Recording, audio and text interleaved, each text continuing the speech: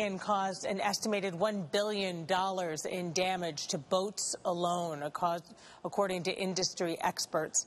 Southwest Florida is a boating community, especially our area's largest city, Cape Coral, with 400 miles of canals.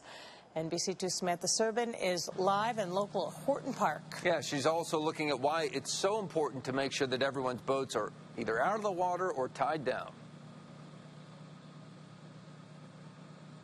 Peter Kelly, we've seen people coming here to the boat ramp all evening, taking their boats out of the water and getting them inland to a safer place. In about an hour's time frame, we saw more than 10 boats. That boat ramp was full. And they say, you know what? They've learned their lessons from Hurricane Ian and they don't want to go through that again. They're not taking any, time any chances this go around.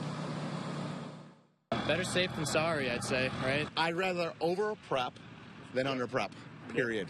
Boaters beware. That's the message from FWC as another hurricane makes its way toward the Sunshine State.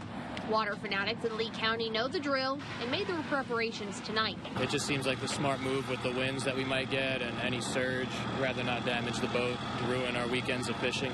We ran into Towboat US here at Horton Park Billy Schmacher says he's been helping to get boats to dry land all day, but he knows not everyone has the capability to get their vessel moved in time. Uh, out of the water would be the safest, or if you're, you know, at a dock and you don't have a trailer to put it on the water, just strapping it down, getting it as high as it can be. So if there's any kind of storm surge, you can get past that so it's not floating into somebody else's backyard.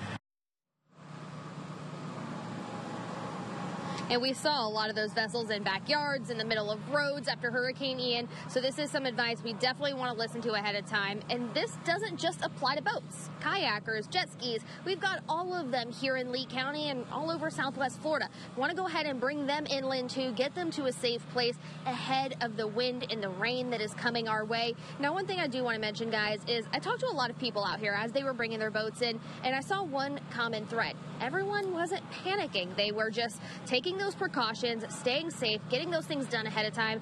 Really good sight to see as a storm comes our way. So glad everyone's learning those lessons from the previous storm and taking them into next year. I'm live and local in Cape Coral. Samantha Serban, NBC2.